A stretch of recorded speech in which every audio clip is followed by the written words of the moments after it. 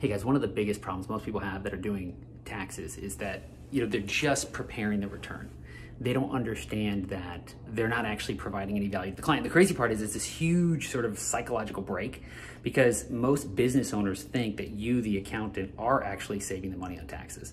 But in just a few couple of quick ways, like couple four things I'm going to walk through with you, you can actually switch from charging for the preparation to going through and charging for the plan. I'm going to walk through those in a second. And I'll show you kind of how I use this on people. I was actually at dinner the other day. Um, somebody that we were hiring to come and work in our company highly paid executive woman that we were interviewing. And so we went up to dinner with her and her husband. And I sat down with her and her husband, and her husband was a business owner. And so I said, hey, so how much did you pay for your tax return last year? And he's like, oh, my account's great. I paid 150 bucks and it's like nothing. And I was like, 150 bucks? Like, and I asked him a couple questions about his business and like what he was doing, what he was offering. He didn't pay 150 bucks. And I told him that. I said, you didn't pay 150 bucks. I would estimate last year you overpaid $9,000 in taxes. And how many years you've been working with this accountant? And he said, well, probably about 11. And I said, how many years you've been making this amount of money? He said, probably about nine or 10. So I said, I would estimate you overpaid by 9,000. It could be more than that. Like I haven't even seen your return for at least, you know, nine or 10 years. So at that point in time, he got kind of like vis visibly kind of like, oh gosh, oh, right? Uh, he kind of started to realize like, oh my gosh, like I, I, maybe I'm doing this wrong.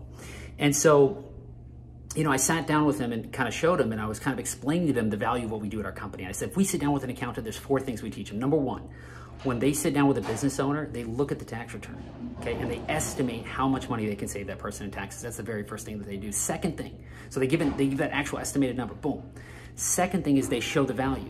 So we give them a presentation so they can actually show that value to a potential client business owner, get them to see, oh my gosh, I overpaid this amount last year, this many years before, overpaid this amount this year, and every single year going forward, okay?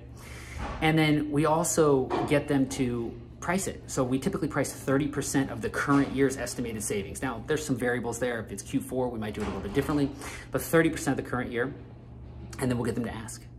Ask for a tax planning fee separate for the preparation. So we'll get them to actually ask for that fee. So those are basically the four steps that anybody goes through. They estimate. That's the first thing that they do. They actually go through and estimate. That they actually show the value on a physical slide of how much that person is overpaid and how much we estimate we could save them. We show them how to price, and then we get them to ask. And so we go through that process with anybody that we work with, okay? And so if you guys are looking to do that, if you're looking to move from, you know, the preparation to go through and do the planning, I'm actually gonna put a link below this video. Um, you can see I'm, I'm in this hotel. I'm actually uh, traveling with my wife right now. And I am, uh, wanted to shoot this quick video. If you fill out an application below, you can speak with me or my team. We'll walk through, it's basically a 300 slide presentation exactly how we walk through.